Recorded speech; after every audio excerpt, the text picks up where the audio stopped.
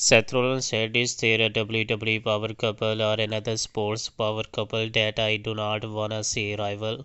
Kelce and I and Taylor Swift. I mean, me and my wife are a power couple. We are the power couple in WWE. Come on now. Seth Rollins and the man Becky Lynch, you do not get bigger than that in our world, brother. So yeah, we are the power couple. We run the ship here in WWE. If they got the staying power, I wish him the best. Very cute relationship they got going on. But yeah, man, they are no match for me and the man just yet. They still got some time to put in.